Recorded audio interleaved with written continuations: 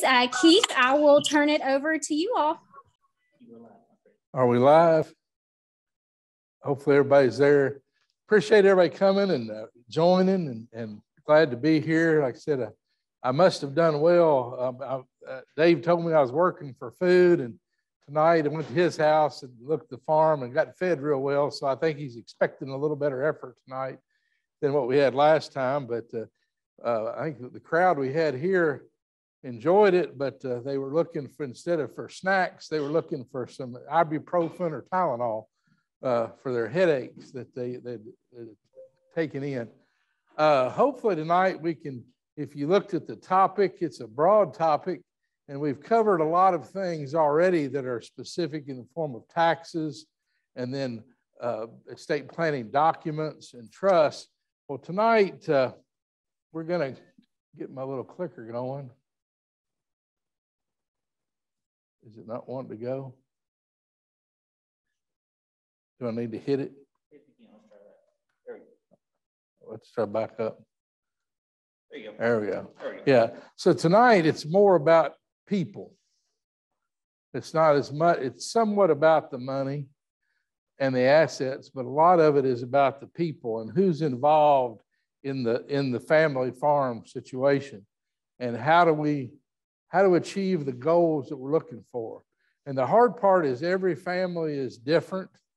A few of the names are changed to protect the guilty, but they're a little, generally they're a little, there's something different in every family. So just because you know somebody that's done something one way, that doesn't mean it's right or it's wrong for you. It, it, but it's a good place to start with kind of something that you've seen work or heard that has worked. But how do we create a succession plan. And that's a little different than an estate plan, where an estate plan says, I've got a will and, you know, uh, everything to my loving spouse, and if, if they predecease me to my children, share and share alike. Had a family of 60 something year olds and said, whoever that lawyer that wrote mama's will, he was a fool. We never shared our lives, and we're never going to share now. So I had to, had to ask them, I'm going to charge more. They said, fine, because we're going to fight for it. So if you want to save money, don't fight. But the real issue in saving and, and not fighting is if mom and dad and the family can all develop a plan that achieves their goals. And every family's goal might not be the same, probably shouldn't be. So what we got to look at is how does it, it this the the planning, it overlaps where you've got estate planning, and we talked about business planning at the very beginning meeting some. We were doing tax talk, but then it's the succession plan. That's a different thing. The estate plan is when you, you're gone or prior to your death, your health care. But then you've got the business plan of how do I develop a business that's being profitable or at least doing the things I want it to do. But now in succession planning is who's going to run this business? Can they run this business? Is the business even worth running? Or is it just an overgrown hobby, or sometimes we call it an overgrown FFA project? So if you've got a family involved, and that's generally what we're talking about, is we're succession onto a family member. Sometimes I have families that have no, uh, a couple that has no children, but they want to see the farm a farm. Well, sometimes we call it the lucky neighbor kid or the lucky grandson-in-law. They seem to come in pretty good because because son and daughter are 60 and they're not going to give up the seniority at the plant or the job or career. So that lucky grandson-in-law or, granddaughter may be the one that gets to do the farming. so when if you've got you're trying to figure out if your child, if you're going to bring them into the business, don't wait till you die. Because then that that kind of is like uh, just walking down the street and asking somebody to run your farm. You know, are they trained? Do they can they do, do they even know what the job description is? Uh, is their resume worth hiring them or passing the farm on to them? I, I know quite a few kids that are 60 now that that when mom went to the nursing home, they had to learn to balance a checkbook. Now, is that child ready to run the farm? hopefully he or she has a good spouse that does know how to balance a checkbook. But it is in the, the farm and the farming business, the child in the farming business, you know, did they start out with this over this 4-H or FFA project that's kind of overgrown? Have they accumulated some uh, livestock or uh, uh, uh, equipment, or maybe even they bought land already? Are they working their own business and they're going to gradually acquire mom and dads when they're ready to retire? One thing that we have, though, that's different in our ag society is uh, you, you know, it's kind of like Charlton Heston told uh, in that NRA speech when he held the gun and said that politicians can take it out of his cold, dead hand. That's usually the John Deere keys. And, uh, you know, we, in Henry County, we raised a lot of tobacco, and we always, the, the, the story was when the 70 year old walked out of the funeral home, when the 93 year old daddy died, the 70 year old said, This year I get to drive the tobacco setter. or I get to drive the square baler because, you know, that was the skill position. Well, a little late for Junior to learn how to drive that thing because now he don't have one at all. They don't have a square baler. So, in, or, or we have another situation where parents are loaning the machinery to the child to get them started. And over time, is there going to be a transition? Well, is there a transition of asset ownership is there a transition of management decision making? You know, Junior may go to the bank, his daddy drives him over there to get a loan, his beginning farmer loan to buy equipment. So Junior can go work at the plant while daddy can drive his new tractor. That happens. Uh, and if Junior's fine with that, all that's good and fine. But uh, when you've got three other sisters or brothers, things get iffy. Whose tractor was that? I think it was daddy's. You got any proof? So, you know, it's, uh, it becomes that you're, you're grown ups now. You're in a business, you're partners. This is about business. You, you're dealing with family, but you got those non farming family members to also deal with. So, if the child's coming in, maybe a lot of good families that I've worked with, when the dad finally turns over those keys and he rents the equipment to the kid, he leases the ground to the kid, and dad now has income.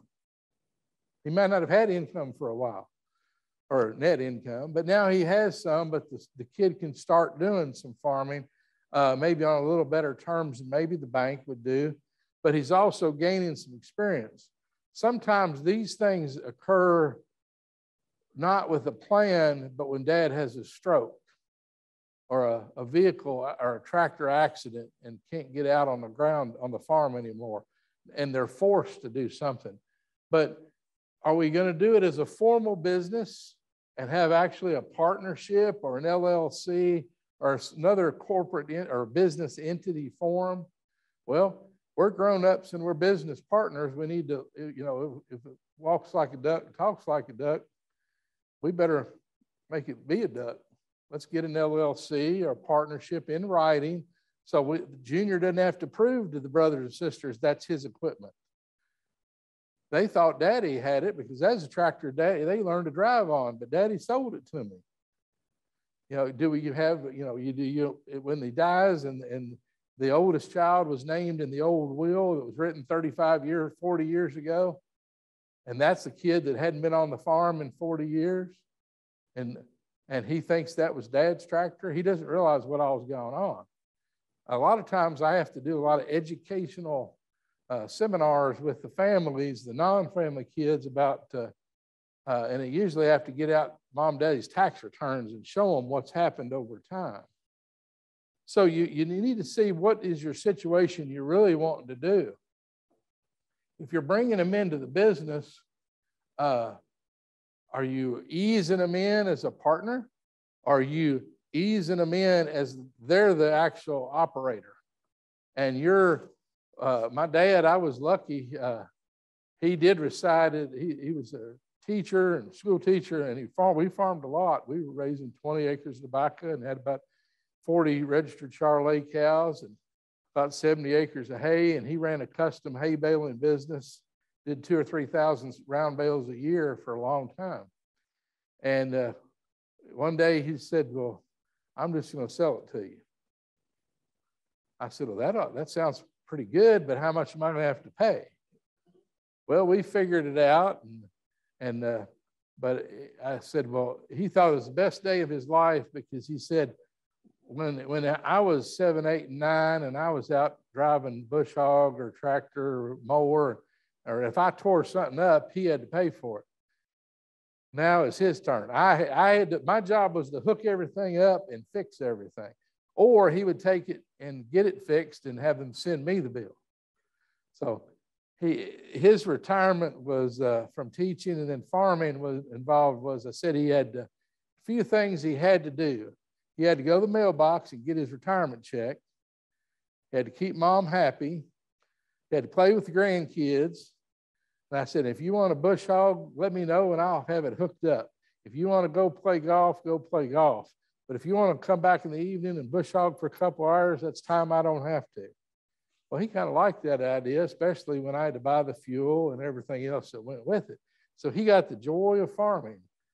Uh, but now he didn't he didn't get paid a lot, but he knew that going in. But it was a it was a good transition. But I had been working with the farm at my way into it, and hopefully with a degree in animal science, a minor in ag economics, farm management, a minor in agronomy, and I'd gone to law school and I'd farmed for a while. Hopefully he thought I could handle it, and maybe I did, maybe I didn't. But we've still we're still playing on the farm.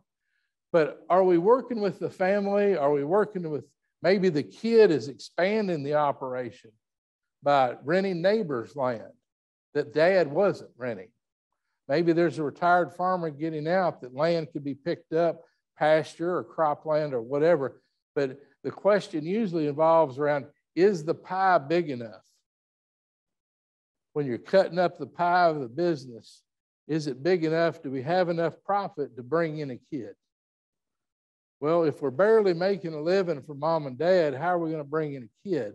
Well, we better be either expanding an existing uh, enterprise or we need to add something different to the additional what, what we're actually doing is we've got to make the pie big enough for everybody to get a piece to eat on. If not, I hope you married well. So we, we got to look at what are you really trying to do uh, that this rent of land and a hidden gift, well, is it really given to you or were you supposed to pay for it and can't pay for it? Well, then is daddy subsidizing or mama subsidizing the kid's unprofitable hobby? If that's okay with everybody and everybody can afford it, that's wonderful. That's a lifestyle we all enjoy.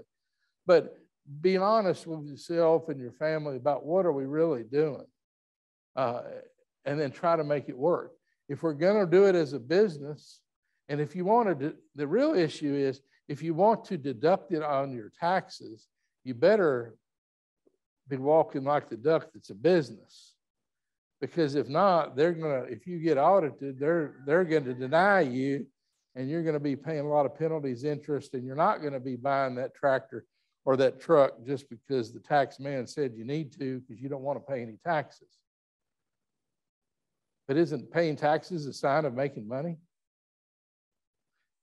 Different perspective. So, in the different business enterprises, are we just operating as dad as a sole proprietorship, a single business? Is mom or a widow or is are we combining? Are you make a general partnership? Are mom and dad already partners to start with? Are we going to do a limited partnership? We're starting to get complicated. Or is it a limited liability company, which really is just a partnership with some added perks? You don't see, most of the time, you'll, the partnerships are unwritten partnerships that just happen to fall into place and never did, what weren't run real well usually for tax reasons. The limited liability company shows the IRS you're making an effort to do it right.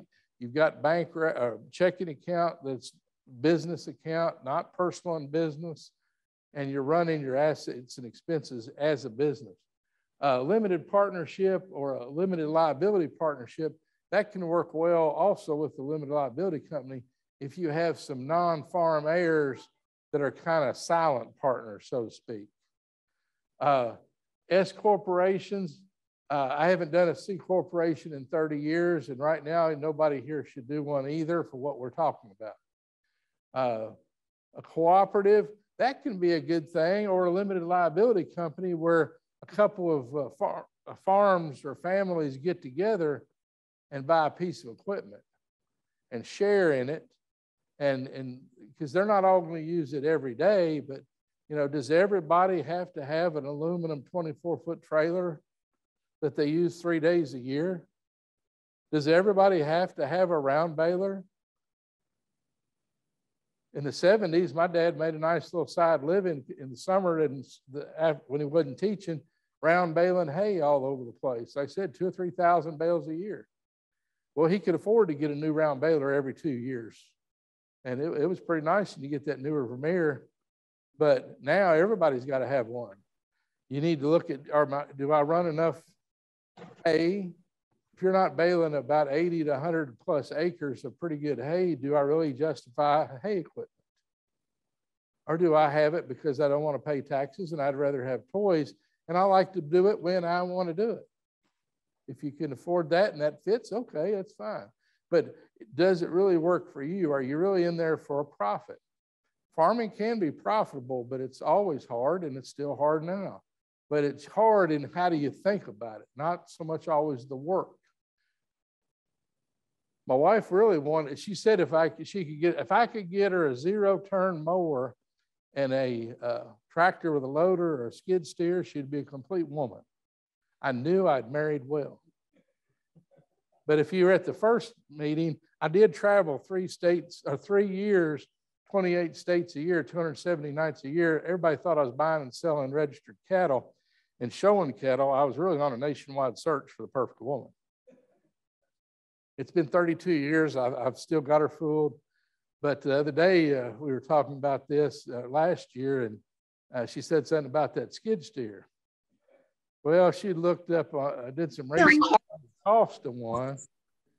And then she said, well, you know, the hardware uh, lumber yard down the roads now, they've got a skid steer and too many excavators and they deliver.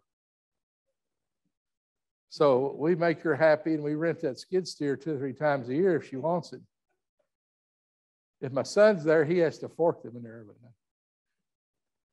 So sometimes you got to think a little bit outside the box, but the important thing was she's still there.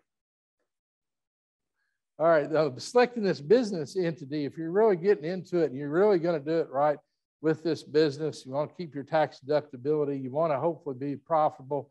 Doesn't mean you are. One thing in the when the tax issue thing along this business entity, the IRS kind of has this unwritten rule. Farmers will always be able to deduct a Schedule F expense if they're producing something we'll eat. So that's why the ostriches and the emus never really took off. The, the llamas had problems. Nobody wanted to eat them, either too ugly or too cute. But if, if you're producing beef cattle, you can lose money for a long time. They don't care as long as you're putting cheap food out there for the city people to buy. Uh, goats, we raise meat, Boer meat goats. Oh, as long as you can eat them, they're pretty much tax deductible, not much questions asked. Uh, you know, it's, it's the, what is the IRS doing? Well, what the real issue is, they know that they want with less than 1%, or I know it's less than 2%, it's near 1% of the population of the United States actually works in production agriculture. So 99% of the people, what do they really want? Safe, cheap food. That's good. And if the government can do that in any way to encourage that, and they know farmers in uh, the Depression would produce agricultural products to the point of bankruptcy, uh, or death. If they'll keep doing it, let's just give them a break. And as long as we can keep them just profitable enough for some of them to be profitable and let them deduct it, they'll keep producing food. Because farming is an addiction. if you weren't here the first session, you know, so what is it? We gotta say, Yes, I'm addicted. Okay. It, it's, it's a good thing, but it is an addiction. It's stuff we do. I've got friends that can't understand. I never, I, they don't think I ever take a vacation. But if I go next week to the Beef Expo, I'm having a great time. I'm also seeing a lot of old friends and a lot of clients and a lot of potential clients where they're, if they're a lawyer, they wouldn't understand that. But you've got to consider this lifestyle part, just like what I do. I want to serve the, people that I, I like. The farmer, almost all my clients are farmers. Do you want to produce something? Do you not like to do the marketing? Sometimes the marketing is the hardest part. And if you're not a people marketing person, it's a horrible thing to try to do. But maybe the marketing person isn't doesn't really want to go out there in the middle of the night and take care of that animal or before the frost gets certain vegetables. You got to see what you want to do, but if you're going to join this as a business, you got to look at income taxes, uh, FICA, and employment taxes. If you're offering any employees, you have benefits. Also, these liquidation costs. That's where the real problem with C corporations were a big deal in agriculture in the 60s and early 70s. And then in the early 80s, a lot of things changed and if you were hung up in a C corporation in agriculture, you could get hit pretty hard when you quit or when you sold out. That's why you don't see many C corporations in agriculture anymore. Um, there are some different advantages for discounting for tax purposes with agricultural businesses. In selecting the entity, are you are we looking to create the business and then sell it? As an ongoing business? Are we going to liquidate it? Are we going to transfer it to a family member? Or what are we, are we the continuity and transfer, transferability? Uh, one big, if you're, if you are a large farm where there are FSA payment limitations, uh, that if you're a large enough grain farm in the state of Kentucky, 20 years ago, one of my clients was the first grain farm that ever hit a payment limitation and now they own 17,000 acres. Back then, they were just farming 15,000. So they could not operate their, their business as a partnership or as an LLC. They had to be a partnership. That way, they could have multiple payment limitations. But again, 99% of us aren't going to have to worry about that. But if you're of much size or you intend to grow to a larger size, you may need to address that now because it's easier to hit those limits. Are we going to have one manager, multiple managers? Are we going to arm wrestle to see who wins the manager hat today? Uh, are we going to hire employees? Are the owners, what's the liability? Does one of the kids want to be an owner and come out and hunt, bring his buddies for the big dove hunt or the, or the deer hunt, but they really don't want to be involved in day to day decision making or labor activities? So what do you really want to do? What are you really trying to do? So again, there's many things that could work. It's what fits your family, your situation. So when we get in these strategies to figure out how we're going to organize the business, almost most farms are sole proprietorships or partners, they're single entities. Husband, wife, one person. Are we going to get into multiple entities where a lot of lots of times we're dealing with the real estate will be in an LLC, the operating company will be in a different entity. So, like the land, we might have mom and dad own the LLC that owns the land. And then the LLC that operates it up here is the operating company. That might include some of the kids that are involved. And then we may end up with the kids buy land, and that's in another, but it's all leased to the operating company. And over time, mom and dad just become landlords and lease it up to the kids and maybe gift or sell the entity that's the operating company. So there's different ways to structure it. Lots of times it's a cash flow question. Maybe it's to provide income to mom and dad, to where they start out being involved in the operating business, but then they, they evolve out to where they're just renting their land or renting their equipment. until such time that the equipment gets traded and all the new equipment is bought by the kids. You know, you, you'd get a 70 year old and, and it's not been to the farm machinery show lately and go price last week a combine. Or a, not just a combine, a subcompact John Deere four wheel drive with a loader and, it's, in a, uh, a backhoe. The backhoe's about that wide. You know, it is it, the amazing of what the equipment has evolved to, but the cost of it is pretty amazing if you haven't been with it following it. A sticker shock can cause a lot of rifts between mom, a dad and son on the way back home from the farm machinery show. Kid needs it, wants it, got to have it. Daddy's going, no, no, no, no, no, no. He remembers variable interest rates and paying 21% in 1978 or 1980. Kids never seen anything above 4%. What do they know? I guess I'm getting old like David here. The operational entity that we're choosing, again, there's these different operational options. And just because somebody does it doesn't mean you should, because that LLC, you see LLCs a lot. A lot of times we'll have an LLC for land, LLC for the operating company, an LLC for the trucking company, an LLC for the livestock company. It's all about isolating liability, but also an LLC can be the same as a single member, a husband and wife, or it can be uh, Ashland Oil Company. It can be an LLC can be everything from single member to actually a corporate C structure type thing inside of an LLC and choosing this entity, things that you are going to have in different entities or the same entity is you better have that LLC or the farm business checkbook. The IRS, I'm sure your tax preparer's always gotten on you, is if you're running a Schedule F, even if it's part time, you need to have a farm checkbook and show that this is personal and this is the farm. Uh, we were talking about at supper tonight about what about the deductibility of cat food? Now, at our house, our farm, we have three cats and three dogs. The, the three dogs are Great Pyrenees, and they've never been away from the goats in their life.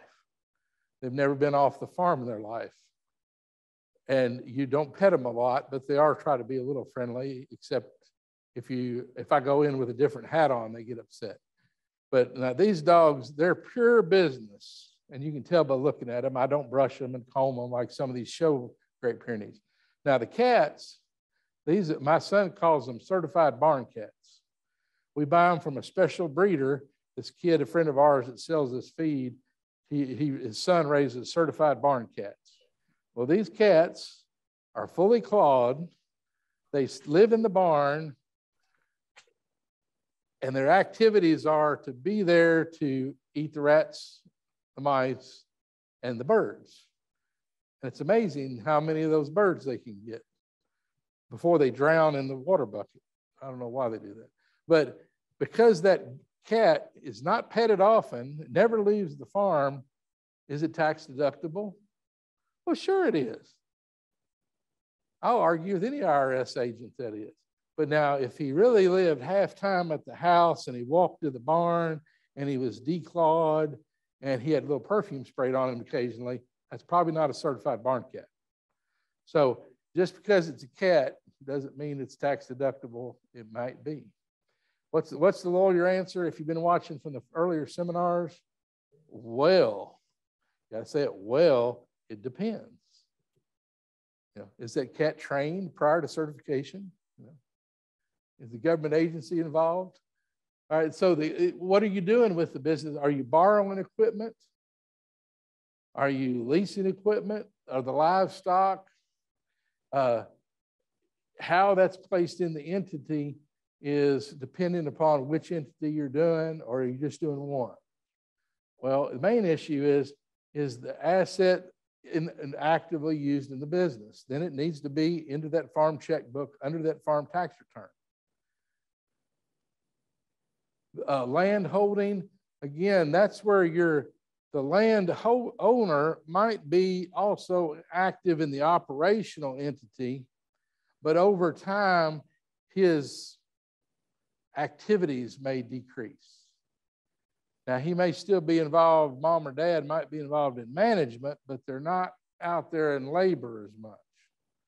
Well, that doesn't mean they're still not an active member, but at some point, they may get out of the operating business entirely, but they still could be the landowner.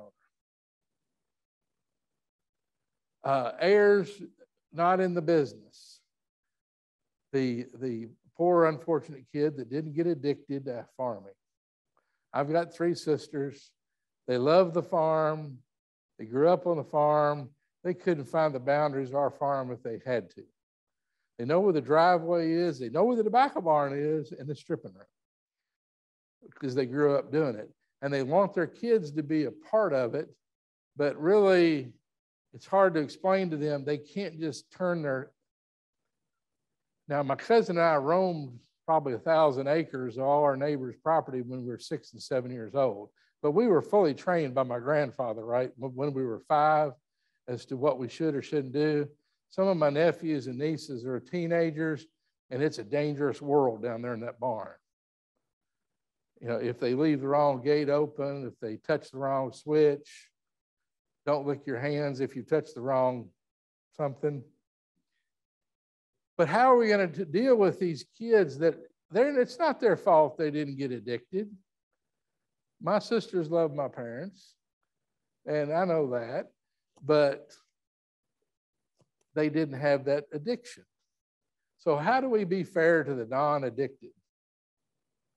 Well, one of the answers is fair isn't always equal, and equal isn't always fair. It's pretty deep, about that far.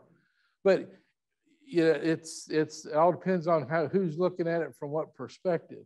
But one thing is, it's not really a wise move to have your non-farming heirs involved in the day-to-day business because they might not understand the process the timing of the expense, the seasonality of the, of the activity.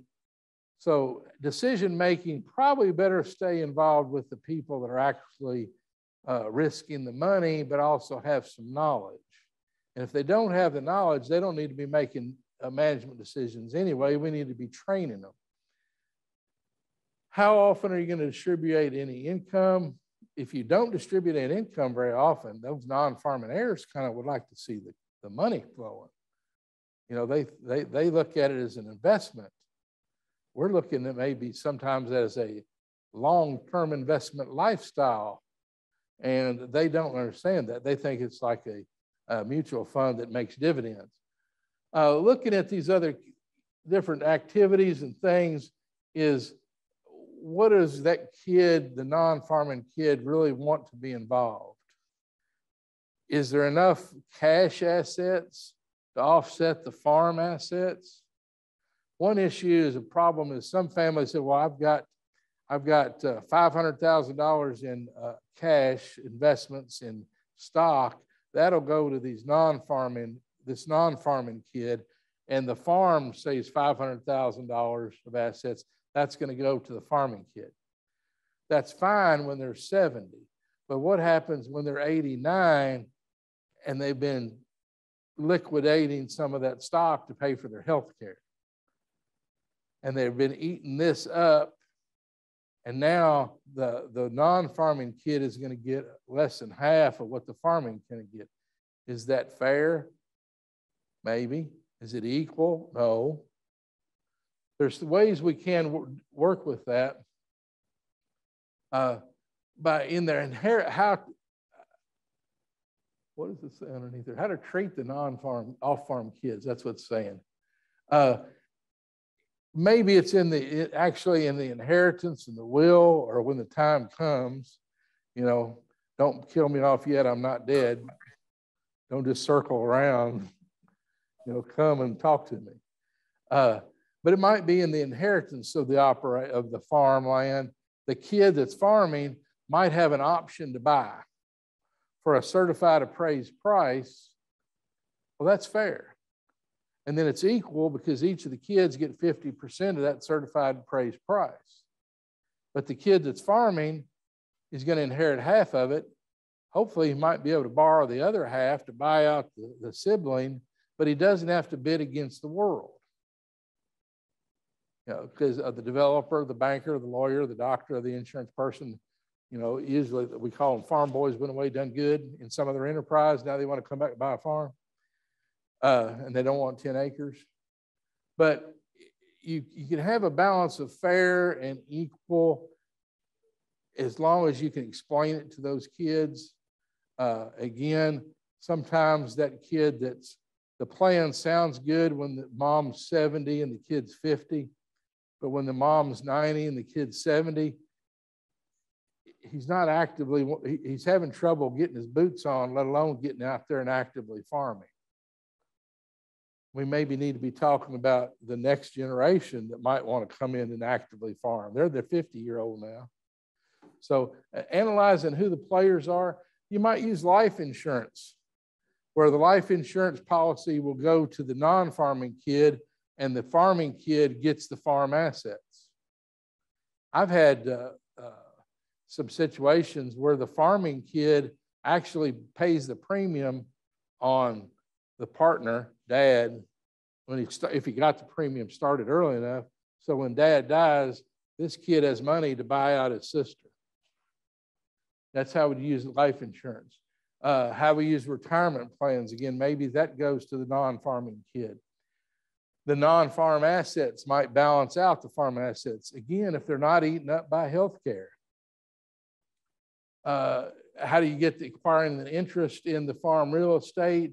You might do something with, with gifting in conjunction with a sale.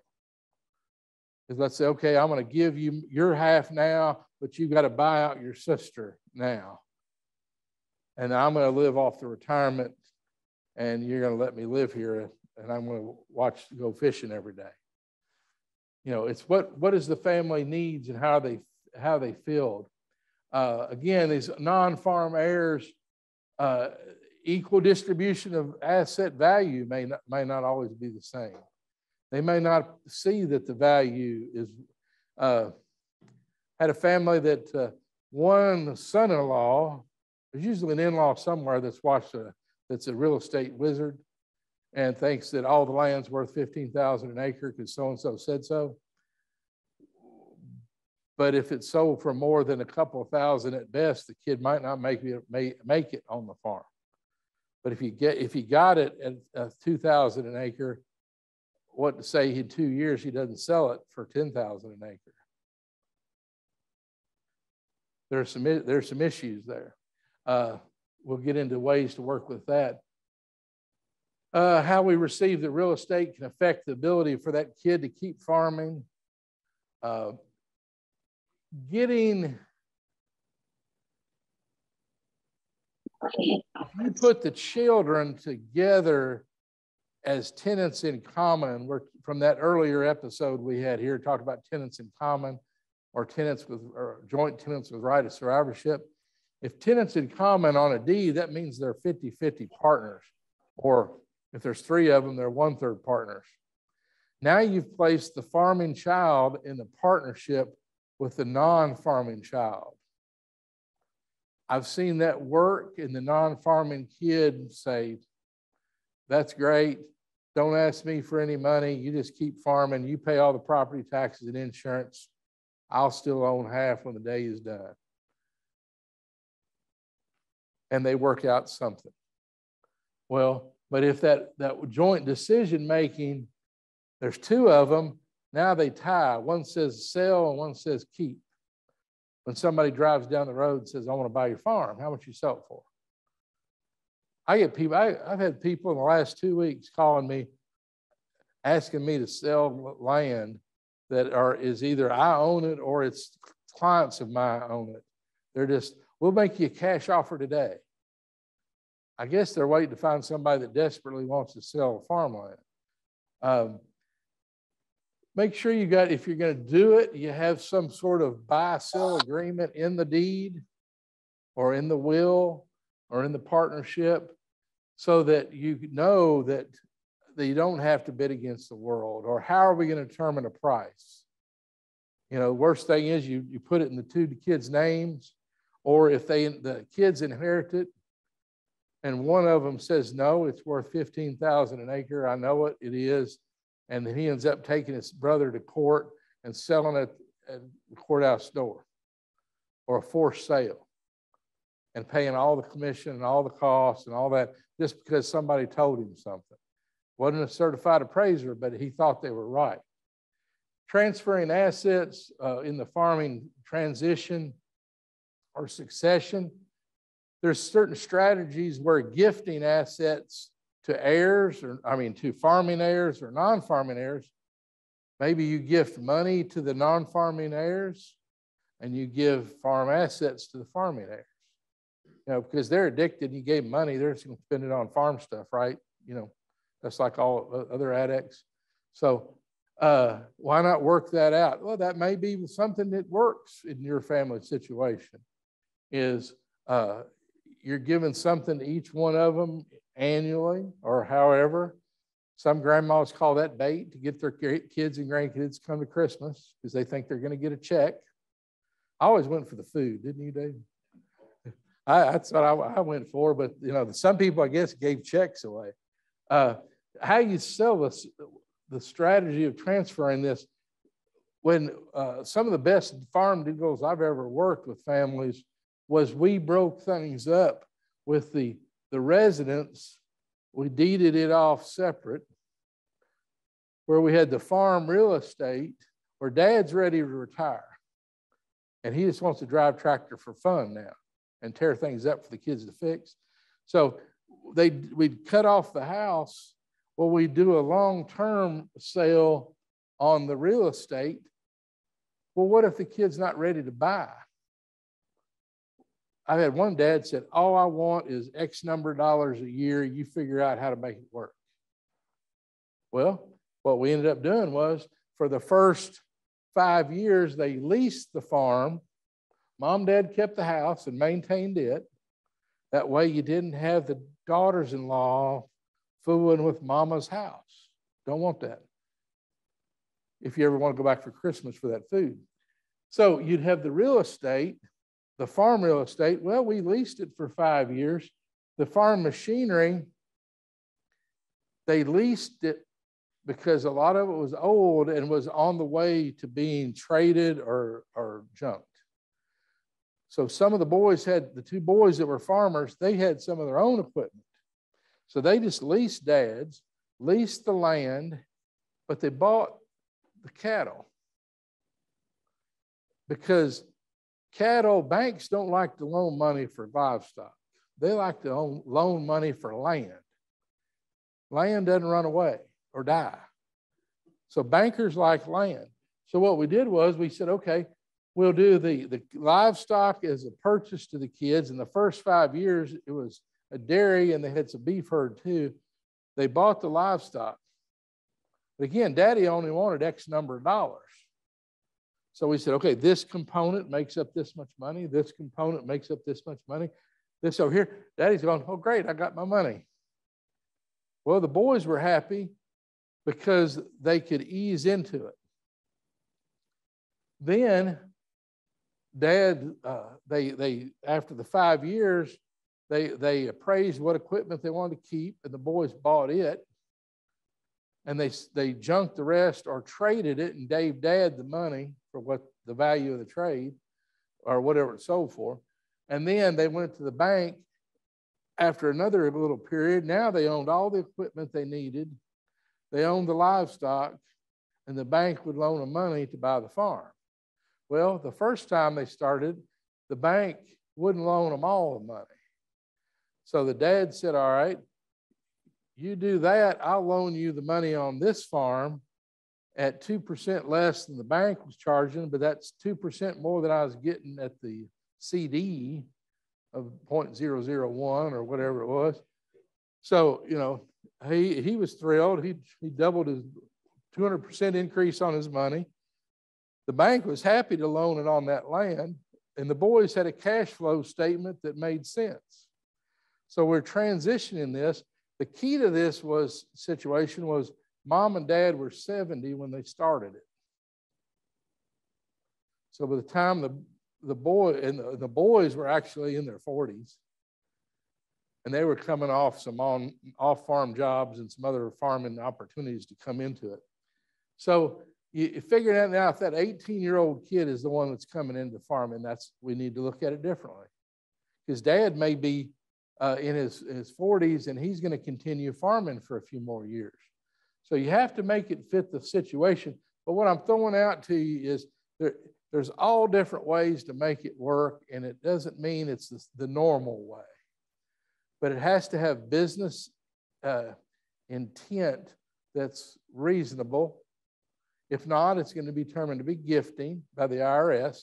And if it's gifting, well, that may affect the, the relationship with the non farming kid. So this inheritance strategy would be after you've died. There's a lot of these same things with the how do we structure buy sell agreements? Are we going to use trust to do it? Trust can be a great tool. All kinds of ways to write a trust. There's there's hundreds of ways to write a trust. But a big thing that I deal with in my clients is they want to provide for their spouse and they want to provide for their kids and they want their farming kid to have a shot because he's addicted or she's addicted. And they want the family to get along when I die. That's a big one. They want the family to get along because they've seen too many that don't. Maybe their, their brothers and sisters don't. So, how you structure this could determine who comes to Thanksgiving and Christmas, right? Maybe who comes to the cemetery. I don't know. It's not clicking. I need to kick it.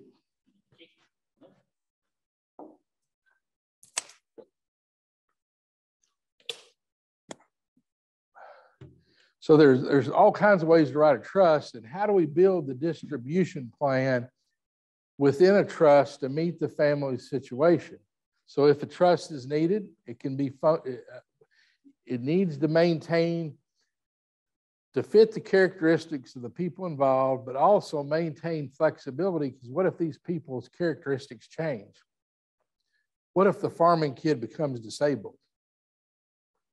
Everybody's thinking about what about 80 year old daddy, daddy getting hurt, but what about 30 year old son? If he gets hurt in a farm accident, now what we going to do?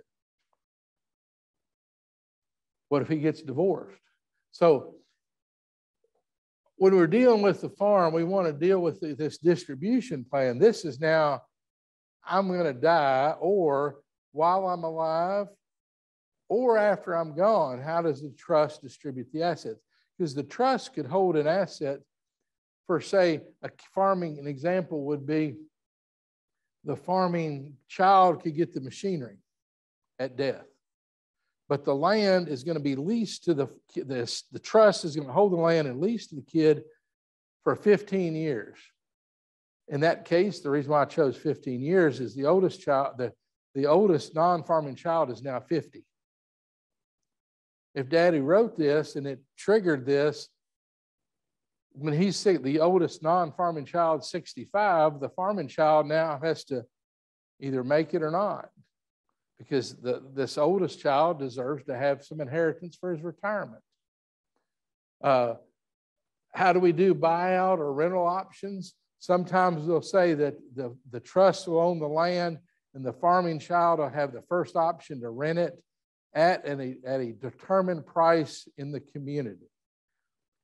That's when you get the ag agent involved and they try not to get controversial. And then you point to farm business analysis or something. And you come up with a price. And it could be to say at a discount, say 80% of whatever the, the price is normally for this type of land. Or dad, when he puts it in the trust, he gets a group of, of, of advisors and they create a price and say, okay, this is the price today. And these, seem th- these, see, these same three people would create the price later. So it's telling the trustee and the beneficiary, here's the people that are going to determine the price. It's not you kids. It's these friends, professionals, uh, maybe real estate, maybe bankers, whoever. They're going to come up with a price but I'm going to give my farming kid a 10% or 20% discount. But again, you might balance this with up until a certain period of time triggers, say it's the retirement of the oldest child. Uh, first rights of refusal or option to, uh, to buy out to the, uh, for the farming child to buy out the non-farming child. That right of first refusal and option is we build that into almost all the deeds that we do with family. Is I'm going to deed it to my one son, but if he ever sells it, he has to offer it back to me. But what happens is if we don't agree on a price, then he can sell it to anybody but if he gets a price before he can sell it, he has to come to me and his other bro- his brother. And if we have a certain time frame to say yes or no, because we can't hold him hostage forever. But because I gave him that land, I gave this one that land, or maybe I still kept it.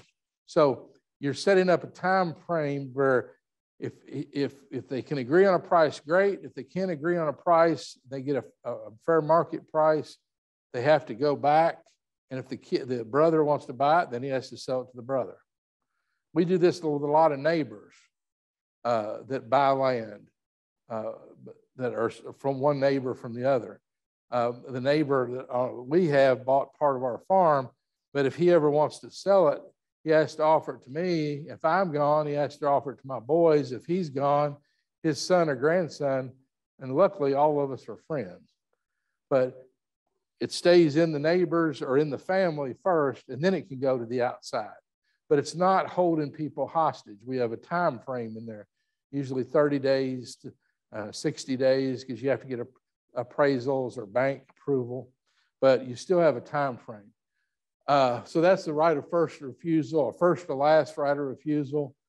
Uh, we said something about non-farm assets and non-farming heirs. Um, the appreciation of land uh, how that that asset has grown, that value of the land, maybe we can distribute some of just the appreciation, not the purchase price. We've had family members do that.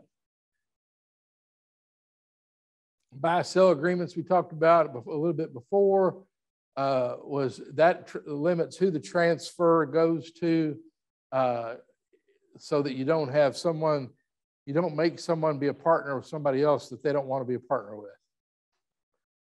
complicated, but yet you don't you you give it to something to your two kids and the kids want to sell it to somebody and that's his brother's arch enemy.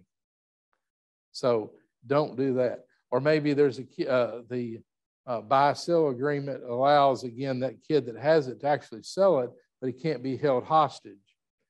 Uh,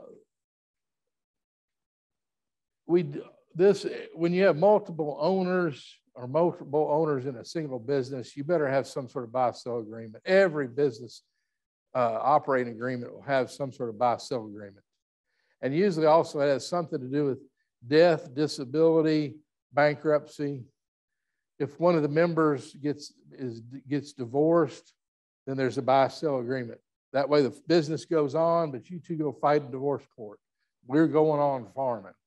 Or if one of them gets disabled, okay, disabled's fine, and we're going to do this. That doesn't mean they have to throw them out, but it does structure it that that one can't force to stay in the business if he can't contribute to a physical business.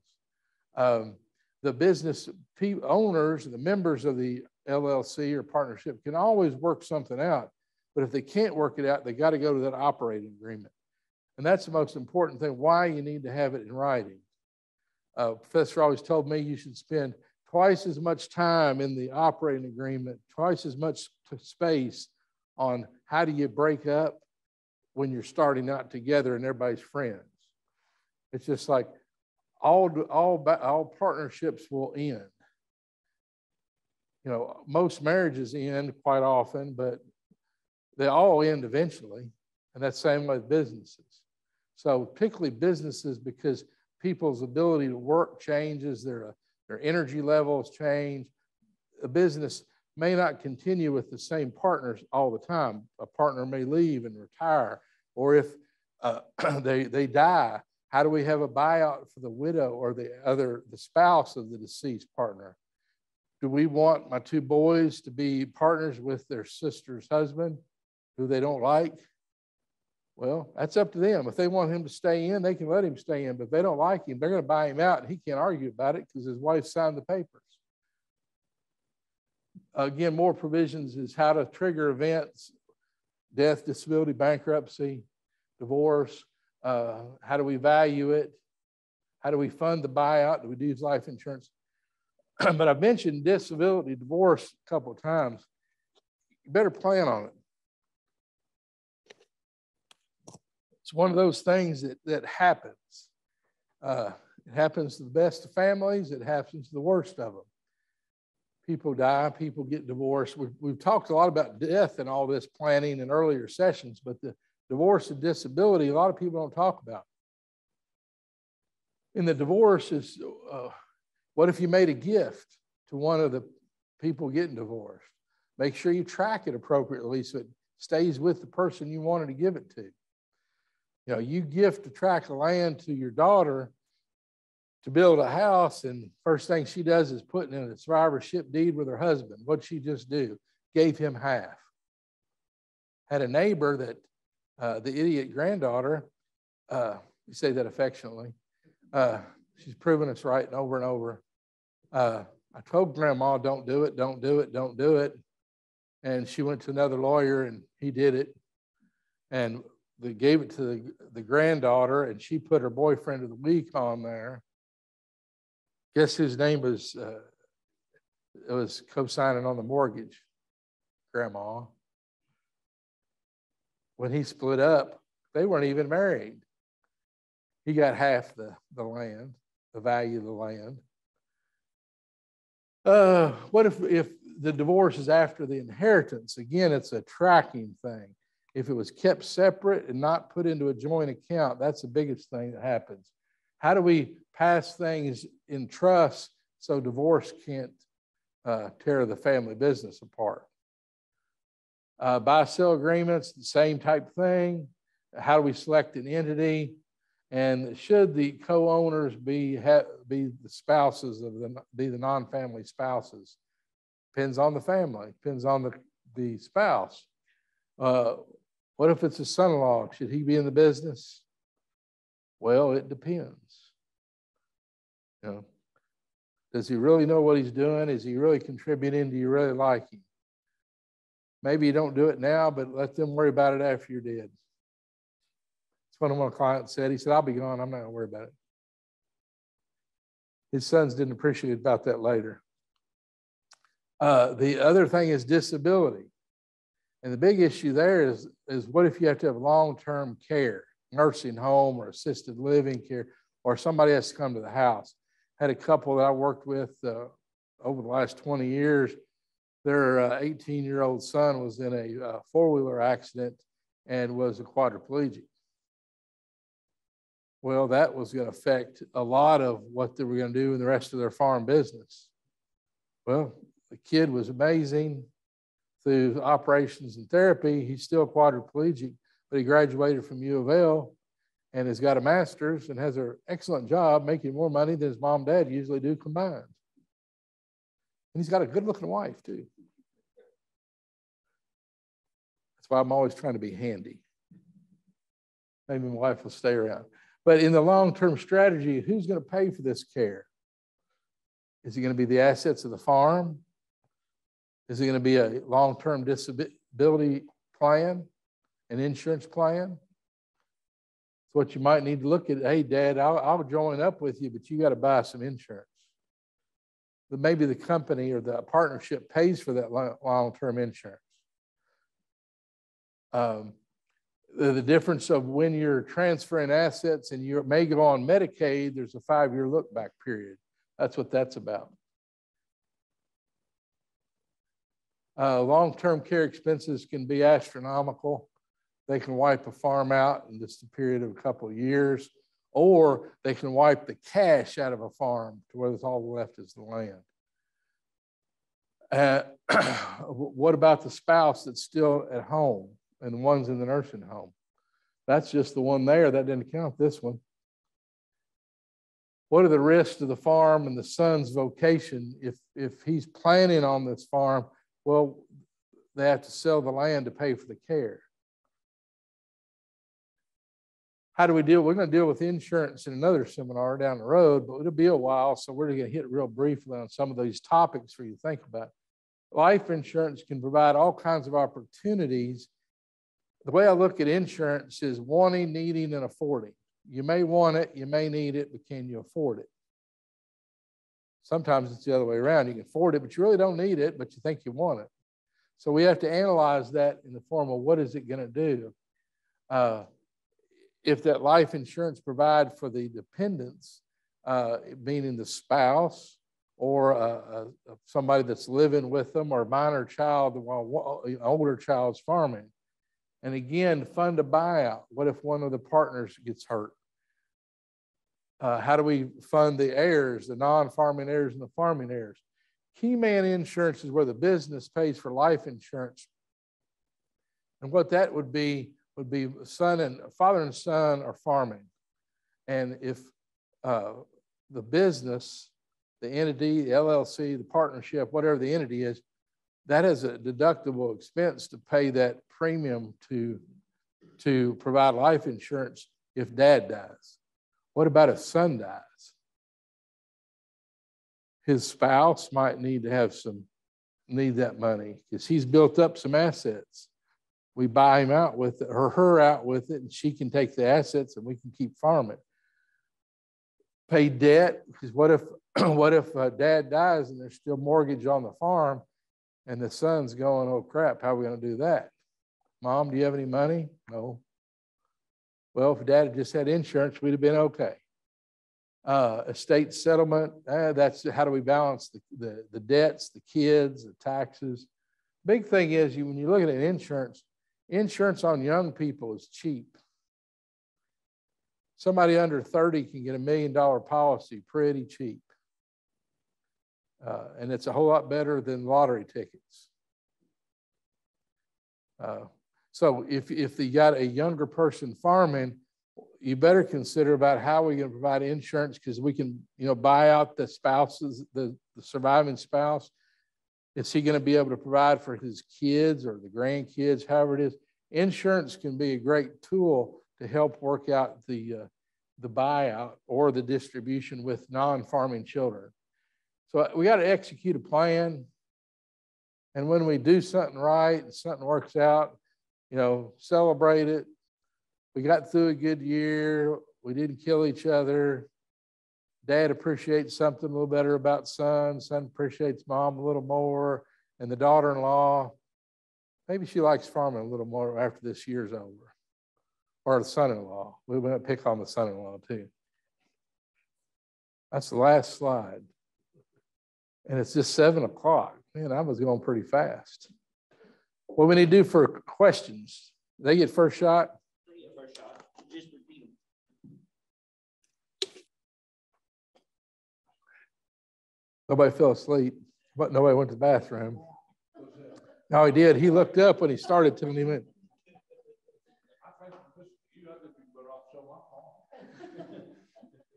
Yeah, it's a great place to live if you want to be there. Well, uh-huh. Okay. We won't give parts on right now,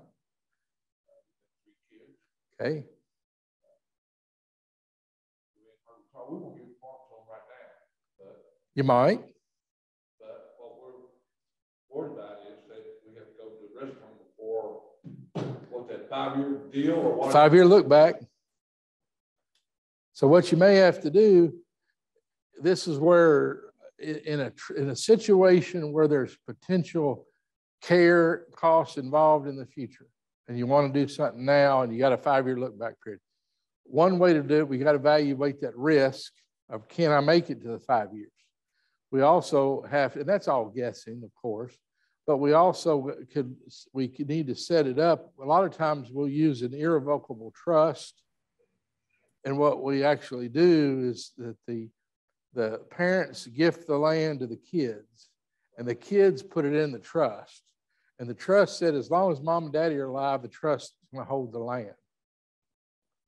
So the kids, we're pretending these are your two kids, two of them. if they get divorced or get stupid or whatever, not your fault, their own, uh, the creditors can't get the trust. They can't borrow against the trust. The trustee might be one of them or it might not, but mom and dad can still rent the house. And it's usually based, you have to have a lease agreement and a rent, but the rent is usually based on property taxes and insurance. But you were already paying anyway. So it's a way to protect the land because once it transfers out, that starts the five year clock. Well, the kids have to know the trust is here, but what if the five year clock isn't going to run? Let's say they make it to four years. Well, is it worth it to cover that one more year somehow? Borrowing money, investing money, selling a piece of the land if you had to, to cover the one more year to get there. So the also when we're doing that, we look at what other assets do you have? Do you have long-term care insurance? Oh, bam, you're past five years now, you're good to go. We do it. If you don't have the long-term care insurance and you can't get it now, how much other cash or insurance availability do you have? So these are all questions that we look at if the parent wants to deed it away uh, sooner than later. The kids are old enough to, yes, I want to farm, but then we'll also build in these buy sell agreements. So if the kids ever fall out or one of them has an opportunity to go to Texas and make lots of money and live in land of the free, goes down there, they how do we do the buyout? You all structure that ahead of time so you know what they're going to do, but they also know what they're getting into. So it, it can be done, but it's a very individualized situation of those certain criteria of how do we structure it. But I, we've done a lot of things that would make it work. Uh, just like my dad, he wanted, he, his theory was as he retired teacher, he farmed for about five years after he retired, but he also saw that if he had kept it, the farm was going to go down.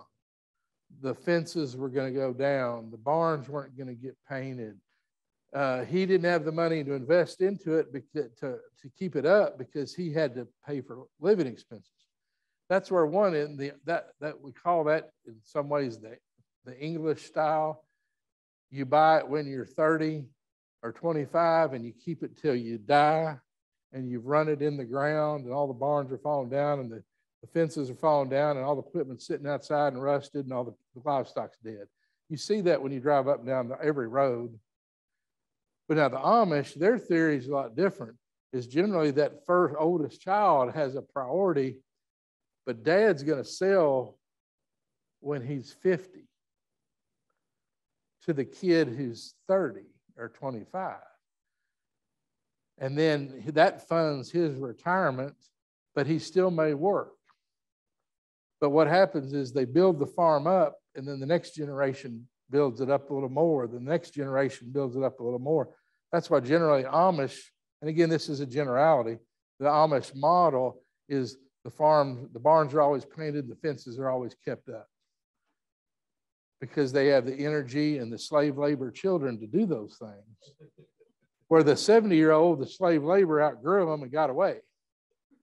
But but you're you're you know that's the point people have got to analyze their own situation of what is my energy level to maintain the farm maybe i'll, I'll keep just mowing the yard but i can't clean the fences anymore and I, I can't get the job done like i really want to again it's maybe that answer is you're talking about 100 acres and and junior better have a good job somewhere or the daughter may have to have because they're not going to make a living probably on that 100 acres or 50 acres.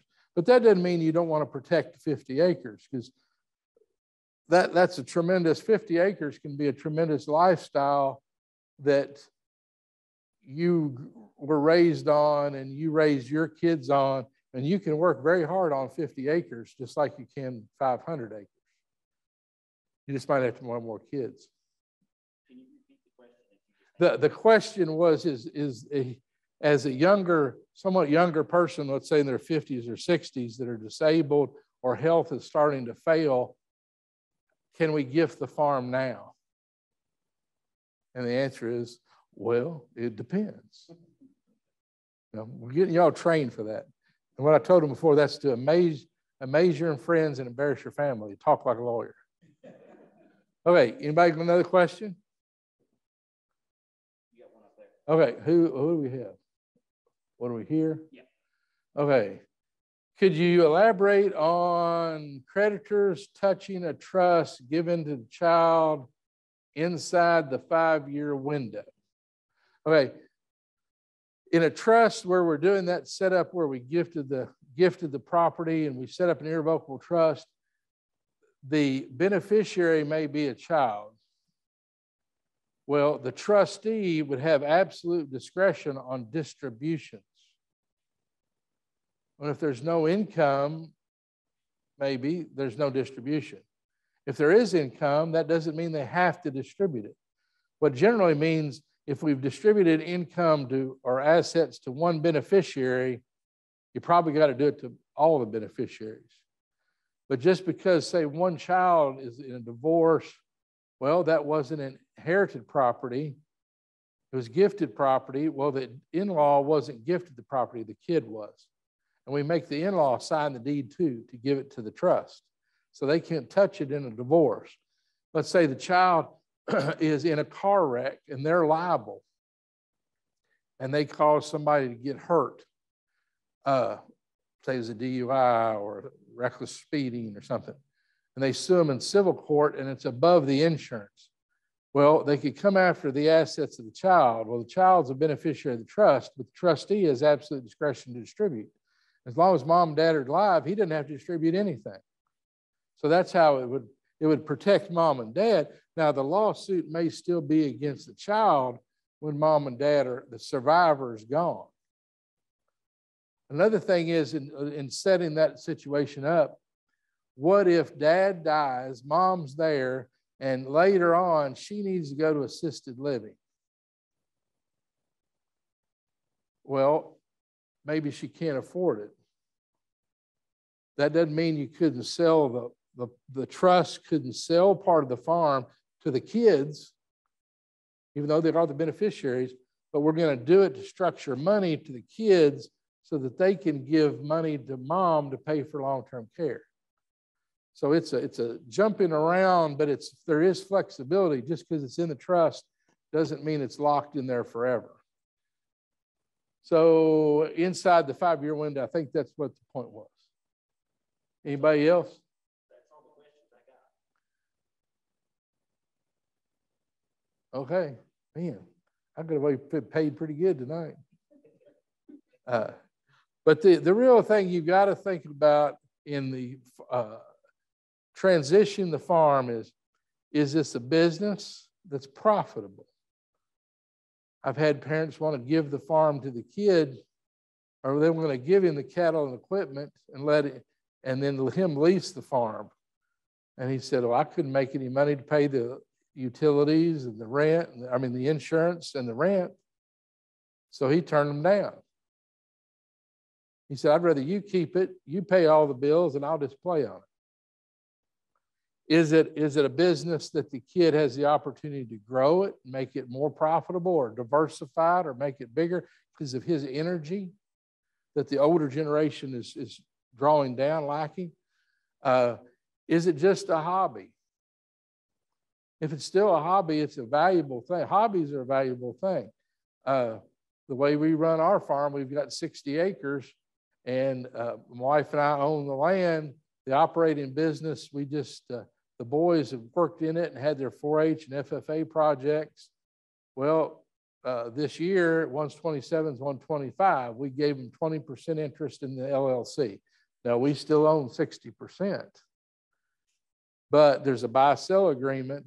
But what amounts to is we they understand if we make a profit, and we have been, that doesn't mean that they're going to pull it out and live on it. It means we're going to invest it and make it bigger and better and have more fun. So you, you've got to sit it to structure the situation. And like I said, when we make, when we make more profit, what I mean by more fun is, well, last year the boys went to Texas to look at some, uh, several farm operations, goat operations, pick out some potential sires to breed to and some sales to get into. So it's a business trip that's tax deductible. Yeah, so you, you, but, but if they understand that one son may not work as much as the other on the farm, well, does it matter if we're not planning on taking any money out of the farm? But we don't ask them to donate into the farm. If they do, it's not a donation, it's a loan. And then the farm pays them back as soon as we sell some, have some money, they get paid back. So we're all back to equal again. So when one of them gets a wild idea wanting to really do something, I'd say, well, how much money you got? And you know, I'm not paying you any interest. So usually they think about it. But again, it, it's, it's, we could talk about 5,000, 10,000 acre farms, we could talk 50 acre lifestyles. And for us, my wife and I, it's important for the boys, when we got our business cards 30 years ago, it says Jefferies Farms, raising kids is our business. And we didn't talk, we weren't talking about the goats. But, uh, but the boys learned a lot of valuable lessons. 'cause My wife and I grew up on the farm and we feel like it's the best place in the world to raise a kid. Any other questions? Oh, they'll come to you in a nightmare, a dream, one. Uh, so next fall, this fall, we're going to do some more of these, and you have other speakers too. I'm not hogging them all, unless David's wife keeps feeding me. But uh, I'll keep coming. But it's the idea that we want you to really get is everybody's situation is different, and there's opportunities out there. But you need to, like we talked about in the first ones, and Clint Quarles talked about it too, is you need to get uh, advisors or uh, professionals with your taxes, your uh, borrowing, your the, the legal side. Create the business plan, the estate plan, and the succession plan, those three circles. But they all are related, they all have to connect, but it has to be specific to you and your family. And the real thing you want to look at is our family right now and where are they going to be just like that will talk we did was about five ten years three to five years when the older you get is you've got to review that. Is that plan feasible in the future? Are we are we doing a succession plan that just it isn't going to work 10 years from now? But if it doesn't work how are we going to set up those buy sell agreements to, to get out of it? Or to still be fair to everybody involved. Uh oh. If child is gifted, if property is gifted into a trust to a child within the five years the parents that gifted become sick, can Medicaid come back and claim against the property? What they'll do is it's from the, the five-year clock is started on the day the deed is recorded. And the five-year clock is the date you apply, not the day you go in the nursing home, but the day you apply for Medicaid. Medicaid is, is uh, there's uh, financial need and medical need. So they, if you've gifted something out on the date of the application, they go back and they say, have you made any gifts for less than fair market value within five years of today? Well, it's five years and, and two days ago you did the deed, and you say, no. That's it. End of question. It's over. They go on with the application. Now, what you've got to do in setting up this trust planning is we've started the clock ticking but it's really from the date of the application back. It's called a look back period. But what we've done, we started the clock so we know when the five year period runs. Don't apply for Medicaid until the five year period is passed. So if there's that middle period, uh, that's say six months or two years or three years, whatever it is, how do we cover it with something to get to the five years before we apply for Medicaid?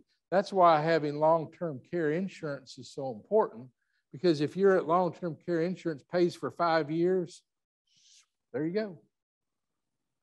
If you have uh, other assets, you know, if you got a couple hundred thousand in CDs and you're not touching them or, or in stock investments, retirement plan, and you got income to carry you, but if that extra care is needed, you can get that money out and not touch the land to get to the five year period.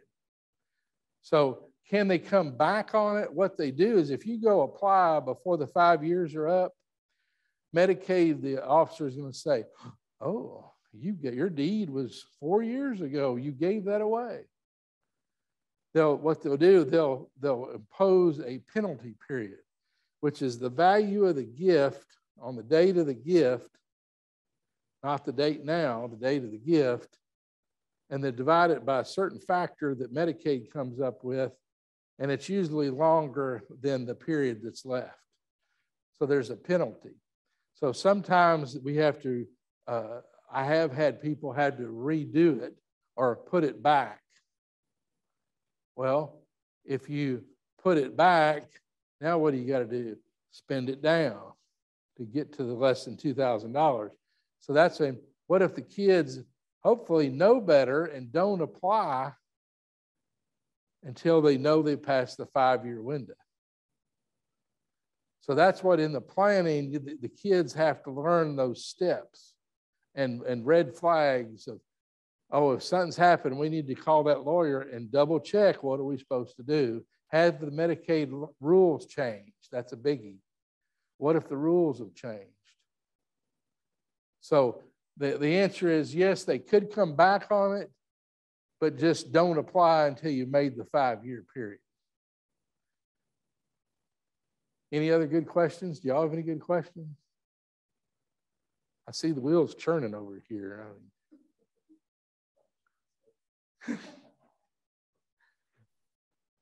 All right. If anybody wants to come off of mute right now, you're welcome to to ask any questions as well.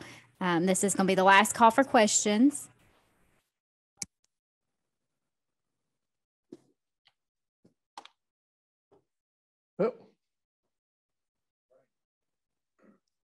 I'd like to take this time to thank Keith for helping us with our spring trainings. Uh, this has been just uh, phenomenal. Uh, appreciate all his effort uh, driving all the way up here each week for our workshop and it's greatly appreciated. Uh, he's given us a lot to think about.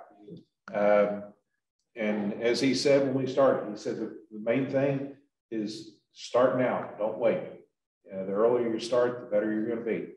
And we appreciate all he's uh, shared with us.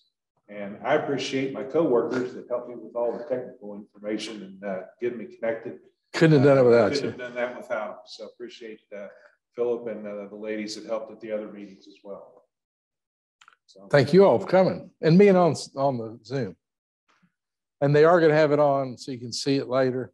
So if you, you were on a reef, you could try it again to figure, what was he trying to say? He sounded real confused. Yeah. But when you do, it's to start doing something. And the whole point is too many people want to think they have to come up with a plan and then go to the lawyer to write the plan and then execute the plan. It's not that way. You need to know what who you are, what you have, and who you have. And if you got an idea how you want it to go, that's that's your that's you and your life. Then you go to the lawyer to figure out these, these are my situational issues. How do we deal with them? Because you've not done this before, probably, where hopefully the lawyer you get does it every day. Just like anything else, when you hire a professional to do it, you're wanting to get somebody that has experience with the problem you have. Because I've had too many people think they don't call, they don't call, because they can't figure out who the guardian is going to be for their kid. And this one uh, friend of mine, she she kept every time I'd see her, oh, I've got to get my estate planning done. One day she called, and I said, well, tell him happy birthday. And she said, what are you talking about? I said, your youngest son just turned 18 day before yesterday. Hey, you don't have to come up with a guardian. That's why you called. She goes, dang it.